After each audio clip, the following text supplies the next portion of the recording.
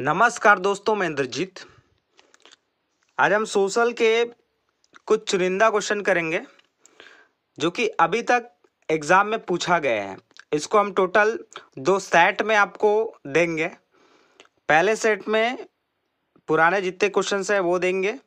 और उसके बाद जो बचे हुए क्वेश्चन हैं, वो भी कराएँगे आपको। पूरा एक्सप्लेन वीडियो होने वाला है। तो वीडियो में अंत तक बने रहेंगे। चैनल में पहली बार जुड़े हैं तो चैनल को सब्सक्राइब कर लीजिएगा। देखिए, क्वेश्चन आपको स्क्रीन पर दिखाया जा रहा है। पहला क्वेश्चन है, गांधी सागर बाँध किस नदी पर स्थित है? इसके ऑप्शन आपको दिखाई दे रहे होंगे। गंगा, चंबल नदी है आपका, सत, सतलज है और आपका चिनाब नदी है। तो देखिएगा, इसका सही आंसर हो जाएगा, गांधी सागर बाँध, जो कि मध्य प्रदेश में स्थित है। और ये ऑप्शन नंबर बी चंबल नदी इस पर स्थित है। क्लियर? क्वेश्चन ऐसे भी बन सकता है कि चंबल नदी कौन से प्रदेश में है तो आपको आंसर लेना है मध्य प्रदेश। आगे देखिएगा। कोडार बाँध स्थित है। असम छत्तीसगढ़ मिरोजम सॉरी मिजोरम और आपका तमिलनाडु। सो so, इसका सही आंसर हो जाएगा option number B Chhattisgarh. Mahasamund जिला में है ये। इसका दूसरा नाम है शहीद वीर नारायण सिंह बाँध देखिएगा, क्वेश्चन ऐसे भी आपको पूछा जा सकता है। शहीद वीर नारायण सिंह बाँध के नाम से इसको जाना जाता है। जैसे गंगरेल बाँध को जाना जाता है रवि शंकर जलाशय के नाम से। क्लियर? Next question. किसी राष्ट्र के लिए सबसे महत्वपूर्ण विषय है। तो इसके लिए आपको आंसर देखिए, क्या ले सकते हैं इसमें? अर्थव्यवस्था है, स्वास्थ्य है, सुरक्षा है और शिक्षा है। इसका सबसे बेटर आंसर हो जाएगा अर्थव्यवस्था। यदि किसी राष्ट्र का अर्थव्यवस्था मज़बूत है तो वहाँ के लोगों को सुरक्षा दे सकेंगे और सुरक्षा देंगे तभी उनका स्वास्थ्य और शिक्षा हो पाएगा। है ना? तो कुल मिला के आंसर नंबर ए ही आपका सही लग रहा है, अर्थव्यवस्था। चलिए, आगे देखिएगा। छत्तीसगढ़ से लोकसभा में सांसदों की संख्या। जिसका सही आंसर रहेगा ऑप्शन नंबर सी, ग्यारह। चूँकि अभी लोकसभा चुनाव जारी है तो मान के चलिए कि हंड्रेड परसेंट यहाँ से क्वेश्चन तो होने ही है। चाहे छत्तीसगढ़ से पूछे, चाहे ओवरऑल इंडिया से पूछे आपको, लोकसभा में सीटों की संख्या या और दूसरे प्रकार के प्रश्न, जैसे हमने कई वीडियो में आपको बताए हैं, ऐसे भी क्वेश्चन आपको पूछे जा सकते हैं। वहीं यदि बात करें छत्तीसगढ़ के राज्यसभा सीट की तो वो है पाँच, और छत्तीसगढ़ विधानसभा सीटों की संख्या है नब्बे। चूँकि अभी नया गवर्नमेंट बना है तो उसमें जितने भी कैबिनेट में मंत्री हैं, चाहे शिक्षा मंत्री हो, खेल मंत्री हो, मुख्यमंत्री हो जितने भी मंत्री हैं, उन सभी का नाम आप अच्छे से याद कर लेंगे। वहाँ से भी इस बार क्वेश्चन होने ही हैं। चूँकि उसका वीडियो हम ऑलरेडी बना चुके हैं तो प्लेलिस्ट से आप देख सकते हैं छत्तीसगढ़ सामान्य ज्ञान से। नेक्स्ट क्वेश्चन देखिएगा। संविधान हमें मूलभूत अधिकार प्रदान करती है। तो ऑप्शन आप देखिएगा, जिसका सही आंसर हो जाएगा ऑप्शन नंबर बी छ इसे मौलिक अधिकार भी कहते हैं, भी ध्यान रखिएगा। जो मूलभूत अधिकार की हम बात कर रहे हैं, यही हमारे लिए मौलिक अधिकार भी है। जैसे आप जाने, जानते होंगे इसको, समानता का अधिकार, स्वतंत्रता का अधिकार, शोषण के विरुद्ध अधिकार, धार्मिक स्वतंत्रता का अधिकार, संस्कृति और शिक्षा, साथ ही आपका संवैधानिक उपचारों का अधिकार। तो ये आपके टोटल छः मौलिक अधिकार हैं, जो कि बेहद इम्पोर्टेंट है। नेक्स्ट क्वेश्चन है विश्व प्रसिद्ध शिव मंदिर छत्तीसगढ़ में कहाँ स्थित है? जिसका सही आंसर हो जाएगा option number C, Sirpur. Shiv मंदिर की बात हुई है। और जैसे आप देख रहे हैं ऑप्शन नंबर ए तो यहाँ जो है आपका बारसूर लिखा है। बत्तीसा मंदिर, जो कि शिव मंदिर है एक। रतनपुर में महामाया मंदिर है। और सिरपुर में आपका गंधेश्वर महादेव मंदिर जो कि हमारा शिव मंदिर है। तो सही आंसर जो है, वो ऑप्शन नंबर सी लेना है आपको। नेक्स्ट है आपका, करो या मरो का नारा किसने दिया था? तो सारे ऑप्शन आप चेक करिएगा, सही आंसर हो जाएगा option number D, Mahatma Gandhi. Subhash Chandra Bose देखिए ऑप्शन में लिखा है तो इन्होंने एक नारा दिया था, तुम मुझे खून दो, मैं तुम्हें आज़ादी दूँगा। और बाल गंगाधर तिलक जी हैं तो उन्होंने एक नारा दिया था, स्वराज मेरा जन्म सिद्ध अधिकार है और मैं इसे लेकर रहूँगा। साथ ही अब्दुल कलाम जी का भी नाम है तो भारत के मिसाइल मैन के नाम से जाने जाते हैं। तो इस प्रकार मैंने सारे ऑप्शन आपको डील कर दिया है।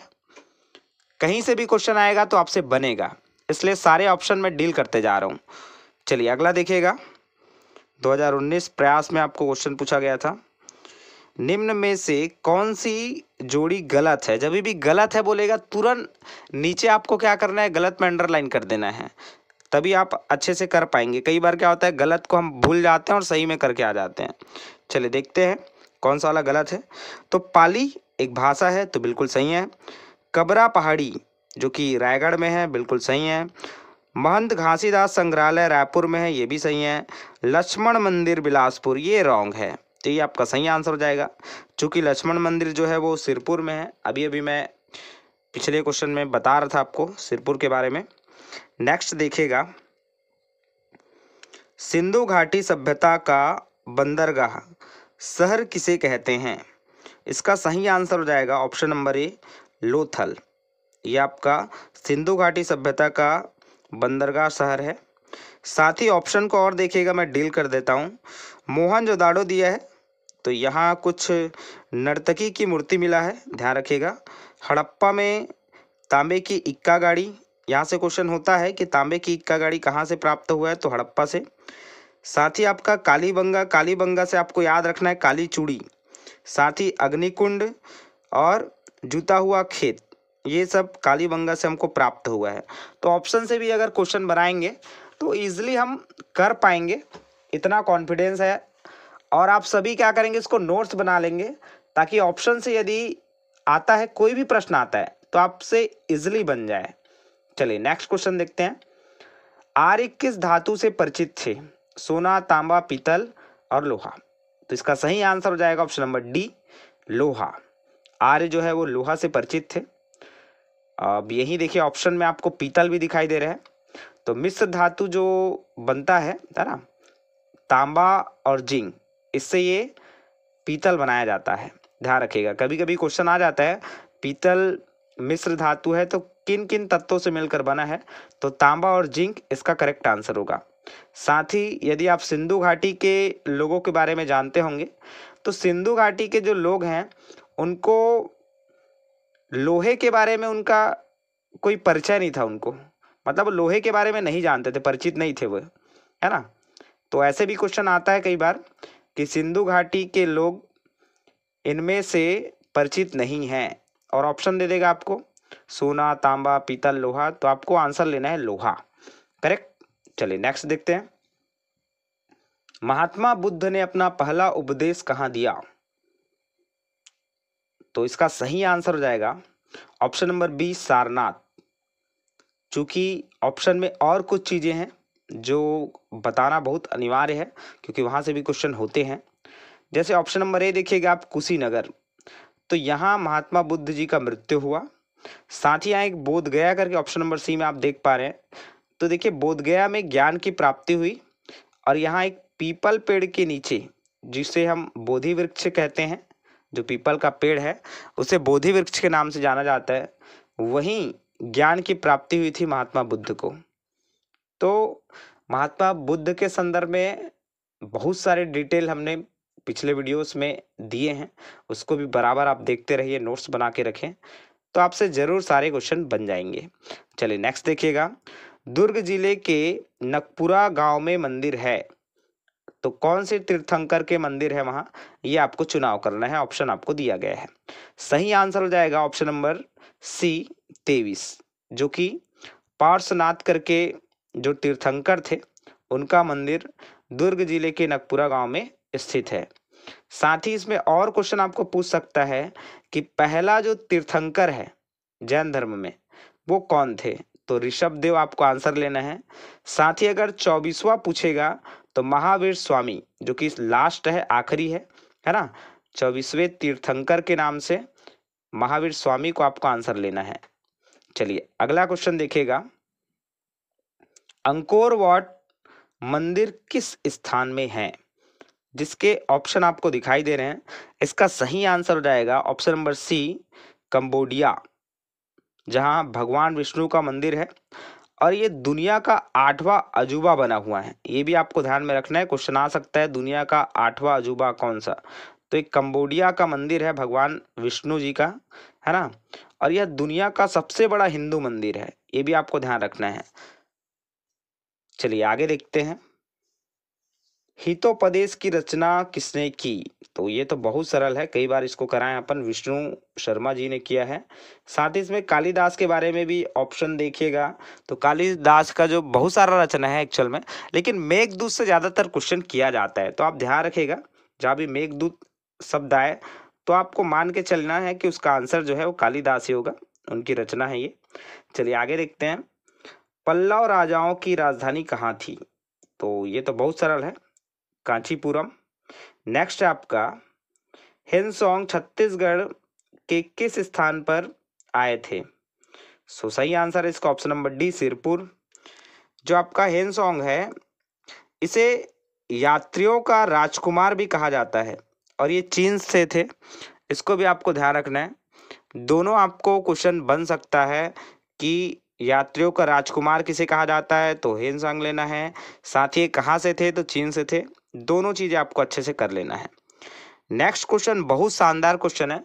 पिछला जो हमारा सौर मंडल का टेस्ट सीरीज़ हुआ था, उसमें हमने ये क्वेश्चन कराए भी थे। और ये आपके प्रयास के एग्ज़ाम में पूछा भी गया है।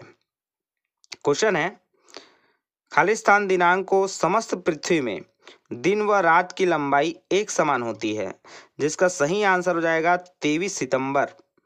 और एक चीज़ और मैं आपको इसमें डिटेल बता देता हूँ। तेईस सितंबर और 21 मार्च, दोनों दिन, चूँकि हमारे ऑप्शन में 21 मार्च तो नहीं है, लेकिन यदि 21 मार्च होता तो भी हमारा करेक्ट आंसर होता वो, है ना? तेईस सितंबर और 21 मार्च आपको ध्यान में रखना है। पूरे पृथ्वी में दिन और रात की जो लंबाई है वो एक समान होती है, इस दिन। तेईस सितंबर और 21 मार्च। बिल्कुल आपको लिख के रख लेना है, तेईस सितंबर और 21 मार्च को। चलिए आगे देखिएगा। अगला क्वेश्चन है, खालिस्तान पठार विश्व का सबसे ऊँचा पठार है। तो इसका सही आंसर हो जाएगा तिब्बत। अब यह जो देश है, वो चीन का, चीन के द्वारा कब्जा कर लिया गया है। है ना? यहाँ के लोग अपनी जान बचाकर भारत आए और कुछ तिब्बती लोग छत्तीसगढ़ के मैन पार्ट जो कि अपना सरगुजा जिला के अंतर्गत आता है, उसमें भी बसाए गए हैं। ये भी डिटेल आपको जानना पड़ेगा। नेक्स्ट क्वेश्चन देखिएगा। निम्न में से कौन सी नदी बंगाल की खाड़ी में नहीं गिरती? देखिए, नहीं बोला अंडरलाइन करिएगा नहीं, और फिर आप करेक्ट आंसर का चुनाव करिएगा। इसका सही आंसर हो जाएगा ऑप्शन नंबर बी नर्मदा। चूँकि बंगाल की खाड़ी में नहीं गिरती तो कहाँ गिरती ऐसा पूछा तो? तो ये अरब सागर में गिरती है, आपको ध्यान देना है। बाकी महानदी, गोदावरी, कृष्णा, ये सभी बंगाल की खाड़ी में गिरती है। क्लियर नेक्स्ट वह जंगल जो खारे पानी में फैला होता है। इसका सही आंसर हो जाएगा option number C, mangrove. Paschim Bengal का एक सुंदरी वन है, जो सुंदरवन डेल्टा में फैला हुआ है। ये इसका शानदार उदाहरण है। है ना? जो हम बात कर रहे हैं कि वह जंगल जो खारे पानी में फैला होता है तो इसके लिए शानदार उदाहरण है। पश्चिम बंगाल में जो हमारा सुंदरी वन है है ना? जिसको अपन सुंदरवन डेल्टा में जो फैला हुआ है है ना? ये आप एग्ज़ाम्पल ले सकते हैं इसके लिए। आगे देखिएगा, तवा मछली संघ किस राज्य का संगठन है? इसका सही आंसर होगा option number B, Madhya Pradesh. फिर नेक्स्ट है, जगन्नाथ मंदिर कहाँ स्थित है? तो सही आंसर हो जाएगा ऑप्शन नंबर ए उड़ीसा। चूँकि यहाँ भगवान की मूर्ति लकड़ी से बनी हुई है इम्पोर्टेंट तथ्य बता रहा हूँ आपको मैं। यहाँ जो भगवान की मूर्ति है, वो लकड़ी से बनी हुई है और भगवान कृष्ण, बड़े भैया बलराम और बहन सुभद्रा, ये विराजमान है यहाँ। ध्यान रखिएगा। नेक्स्ट है दक्षिण अफ्रीका किस वर्ष लोकतांत्रिक राष्ट्र बना? बहुत इंपॉर्टेंट क्वेश्चन है। और ये इसका आंसर हो जाएगा 1994 उन्नीस में ये जो है लोकतांत्रिक राष्ट्र बना है। साथ ही नेक्स्ट आप देखिएगा, पंचायत राज के स्तर होते हैं। तो पंचायत राज जो है वो त्रिस्तरीय होता है। तो इसका सही आंसर हो जाएगा ऑप्शन नंबर सी तीन। आप जानते हैं सभी, जिला पंचायत, जनपद पंचायत, ग्राम पंचायत ये तीन स्त्री होता है। पंचायत राज की व्यवस्था। साथ ही इससे संबंधित एक क्वेश्चन है, जो कि आप मुझे कमेंट्स सेक्शन में बताएँगे, किसका आंसर क्या होगा। सरपंच बनने के लिए न्यूनतम आयु कितनी वर्ष होनी चाहिए? तो इसका आप आंसर हमें कमेंट्स के थ्रू बताएँगे। साथ ही हमने अपने पुराने वीडियो में बताया था आपको कि प्रधानमंत्री बनना है, लोकसभा चुनाव लड़ना है तो आपका न्यूनतम जो वर्ष है वो पच्चीस वर्ष होना चाहिए। राष्ट्रपति बनना है तो पैंतीस वर्ष होना चाहिए। ठीक उसी से संबंधित ये प्रश्न है कि सरपंच बनना है तो आपको न्यूनतम आयु कितना होना चाहिए। चलिए आगे देखिएगा। क्वेश्चन है, आपका बंगाल का विभाजन कब हुआ? जिसका सही आंसर होगा ऑप्शन नंबर बी 1905 इस समय भारत के जो वायसराय थे, लॉर्ड कर्जन थे, इसी से बंगाल इन्हीं ने जो है वो बंगाल का विभाजन कराया था। ध्यान रखिएगा इसको। क्योंकि कई बार ऐसा क्वेश्चन पूछा जाता है कि बंगाल विभाजन के समय भारत के जो वायसराय थे, वो कौन थे? तो लॉर्ड कर्जन, आपको आंसर लेना है। नेक्स्ट देखिएगा। भिलाई स्टील प्लांट की स्थापना कब हुआ? तो ये 1955 में हुआ है option number D is correct answer फिर नेक्स्ट है, झूम कृषि में बीज बोने की विधि को कहते हैं। तो इसका सही आंसर हो जाएगा ऑप्शन नंबर ए, बिखेरना। एक्चुअल में झूम खेती होती क्या है? तो देखिए कैसे बनता है जंगल को काटेंगे और काट कर जलाकर उसमें खेती की जाती है। मतलब जंगल को पूरा साफ़ कर दिया जाता है काट कर जलाकर और उस पर खेती की जाती है, इसको कहते हैं झूम खेती। क्लियर नेक्स्ट क्वेश्चन देखिएगा। अब ये सारे क्वेश्चन आपको मैं 2020 में जो आए हैं, उसको बता रहा हूँ। लाइन से बताते जा रहा था, अट्ठारह, उन्नीस, बीस, ऐसे चल रहे हैं, है ना? चलिए आगे देखिए। भारत में मुंबई व ठाणे के बीच चलने वाली पहली रेलगाड़ी कब चली? तो ऑप्शन नंबर बी अट्ठारह में चला है। साथ ही नेक्स्ट क्वेश्चन है आपका, पांडिचेरी के संस्थापक हैं तो option number A Francis Martin. फिर नेक्स्ट क्वेश्चन है, असहयोग आंदोलन प्रारंभ हुआ। असहयोग आंदोलन के बारे में जब भी बातें आती है तो इसका नेतृत्व करता थे महात्मा गांधी जी। और ये एक अगस्त 1920 में प्रारंभ हुआ। साथ ही जो बहुत फ़ेमस एक कांड है चौरा चौरी हत्याकांड, इसके बाद 12 फरवरी 1922 को असहयोग आंदोलन समाप्त हो गया। तो क्वेश्चन अभी प्रारंभ से पूछा था तो 1 अगस्त 1920 अगर समाप्ति की बात की जाए तो 12 फरवरी 1922 दोनों फैक्ट आपको याद रखना है। नेक्स्ट है, छत्तीसगढ़ में पत्रकारिता का जनक किसे माना जाता है? जिसका सही उत्तर हो जाएगा option number A Pandit Madhavrao Sapre. साथ ही यहाँ एक और ऑप्शन में दिख रहा है आपको option number C Pandit Sundarlal Sharma, जो कि छत्तीसगढ़ के गांधी के नाम से जाने जाते हैं। ध्यान रखिएगा। चलिए नेक्स्ट क्वेश्चन देखते हैं। छत्तीसगढ़ में लोकसभा क्षेत्रों की संख्या है तो ऑप्शन नंबर सी ग्यारह है। देखिए, मैंने लोकसभा के बारे में आपको बताया कि इससे क्वेश्चन होना ही है तो बहुत अच्छे से आप प्रिपरेशन कर लेंगे। नेक्स्ट है, प्रार्थना समाज के संस्थापक हैं। तो इसका संस्थापक है आपका option number B, Mahadev Govind Ranade. और साथ ही एक नाम और है, जो कि ऑप्शन में तो नहीं दिया है, लेकिन आप याद रखेंगे, नोट करके रखेंगे। आत्माराम पांडुरंग, ये भी इनके संस्थापक में माने जाते हैं। महादेव गोविंद रनाडे के साथ में आत्माराम पांडुरंग। चलिए आगे देखिएगा। इंपॉर्टेंट क्वेश्चन है। सूचना का अधिकार अधिनियम अस्तित्व में आया तो सन 2005 में आया है। सूचना के अधिकार से कोई ना कोई क्वेश्चन बनता ही है तो उसको थोड़ा डिटेल आप अध्ययन कर लेंगे एस सी सोशल साइंस के बुक से। चलिए आगे देखते हैं। निम्न में से कौन राष्ट्रपति द्वारा नियुक्त नहीं किया जाता? देखिए फिर से नहीं बोला है। तो ध्यान रखिएगा, राज्य के राज्यपाल ये तो नियुक्त किए जाते हैं, मुख्य चुनाव आयुक्त ये भी किए जाते हैं, मुख्यमंत्री नहीं किए जाते क्योंकि मुख्यमंत्री का जो नियुक्ति है, वो राज्यपाल के द्वारा होता है, न कि राष्ट्रपति। तो ये आपका सही आंसर हो जाएगा ऑप्शन नंबर सी, मुख्यमंत्री। नेक्स्ट क्वेश्चन है, सुनहरा रेशा है, जिसका सही आंसर हो जाएगा ऑप्शन नंबर ए, पटसन। ये सारे क्वेश्चन हम पहले भी करा चुके हैं आपको, यदि आपने हमारा डिटेल वीडियो नहीं देखा है तो ज़रूर देख लीजिएगा। चलिए नेक्स्ट क्वेश्चन कब और किन राज्यों के बीच पंचशील हस्ताक्षर की गई? तो देखिएगा, बहुत शानदार क्वेश्चन है उनतीस मई उन्नीस ये आपको करेक्ट आंसर लेना है इसमें। असल में उनतीस अप्रैल उन्नीस सौ चौवन है ये। इसी समय भारत में चलता था। हिंदी चीनी भाई भाई।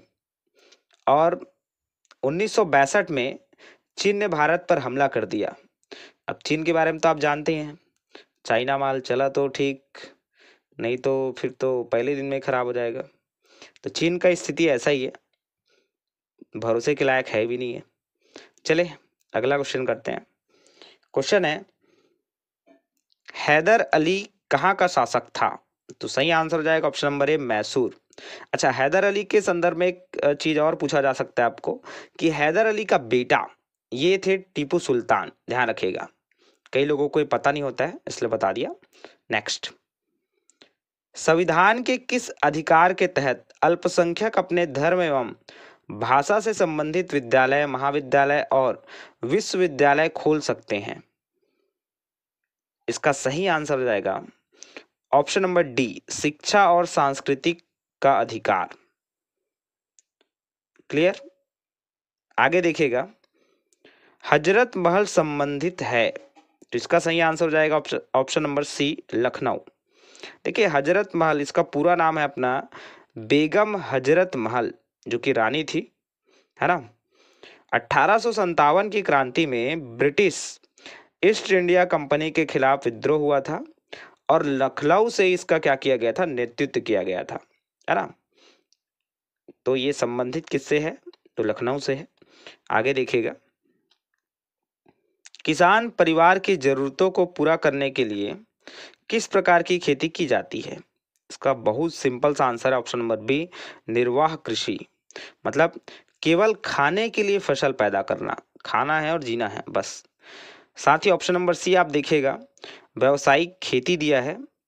इसका मतलब होता है खाने व बेचने के लिए हम पैदा करेंगे, जो भी फ़सल पैदा करते हैं वो। ये व्यवसायिक खेती कहलाती है। सो उस समय जीवन निर्वहन करने के लिए निर्वाह कृषि किया जाता था, केवल खाने के लिए फ़सल पैदा किया जाता था। क्लियर नेक्स्ट मुस्लिम लीग की स्थापना हुई। तो इसका सही आंसर होगा 1906 नेक्स्ट क्वेश्चन है। अप्रवासन का अर्थ है तो सिंपल सा ये तो जब व्यक्ति देश को छोड़कर चला जाता है, option number B is correct answer.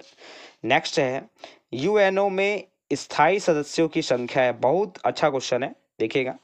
देखिए यूएनओ एक्चुअल में होता क्या है? यूएनओ जो है, वो आपका होता है यूनाइटेड नेशन ऑर्गेनाइजेशन इसके टोटल पाँच स्थायी सदस्य हैं, जो कि सुरक्षा परिषद में जिसको शामिल किया गया है, अमेरिका है, ब्रिटेन है, चाइना है, रशिया है और आपका फ्रांस है। संयुक्त राष्ट्र संघ दिवस कब मनाया जाता है? ये आप हमें कमेंट्स करके बताएँगे। बहुत बार ये क्वेश्चन किया गया है एग्ज़ाम में। संयुक्त राष्ट्र संघ दिवस कब मनाया जाता है? चलिए अगला क्वेश्चन देखिएगा। उद्योग किसके अंतर्गत आता है? बहुत शानदार क्वेश्चन है। प्राथमिक क्षेत्र, द्वितीयक, तृतीयक, या इनमें से कोई नहीं। तो देखिए, जो उद्योग है, वो आता है आपका द्वितीय क्षेत्र में। क्योंकि प्राथमिक क्षेत्र में आपका आता है कृषि, द्वितीय क्षेत्र में आ जाएगा आपका उद्योग धंधे और तृतीय क्षेत्र में आता है आपका सेवा क्षेत्र, जिसको हम बोलते हैं, जैसे डॉक्टर, इंजीनियर, शिक्षक, ये सभी। चलिए, अगला क्वेश्चन देखते हैं। बहुत शानदार क्वेश्चन है।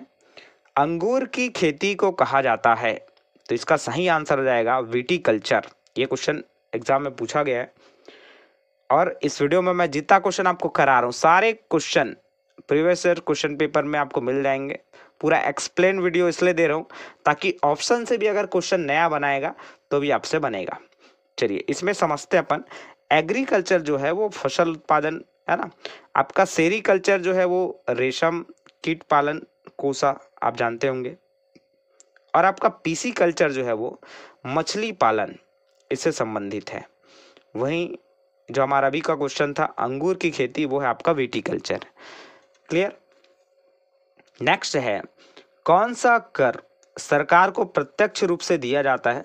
जिसका सही आंसर हो जाएगा ऑप्शन नंबर ए आयकर, जिसको हम इनकम टैक्स के नाम से जानते हैं इंग्लिश में.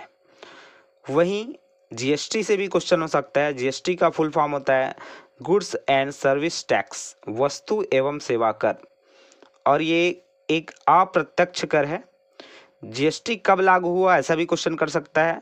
तो ये एक जुलाई सन 2017 को लागू हुआ है। तो इस प्रकार हमने सोशल का पहला पार्ट समाप्त कर लिया है। बहुत जल्द मैं दूसरा पार्ट भी अपलोड कर दूँगा। दोनों आप देखिएगा, पूरे क्वेश्चन आपको मिल जाएँगे। आज तक जितना क्वेश्चन भी प्रयास में पूछा गया है। So thank you so much for listening and watching my video